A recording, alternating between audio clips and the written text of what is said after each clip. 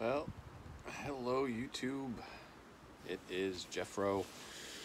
Well, it's Monday and uh, the day after the snow started to fall and we've got some on the ground and it's still coming down pretty good. I don't know if you can see that, but yeah, vehicles are covered.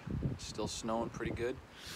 Um, you know, I honestly don't know how much snow we've gotten. Let me take a look out here and well, I don't know if you can see that. Probably, uh, probably seven inches or so, I would imagine.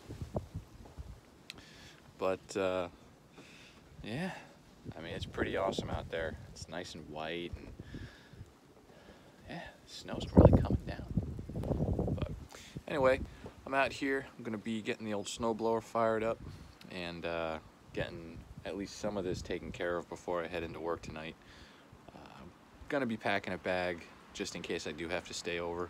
Um, I'll share that with you guys when I get to work because I'm gonna leave a little bit earlier.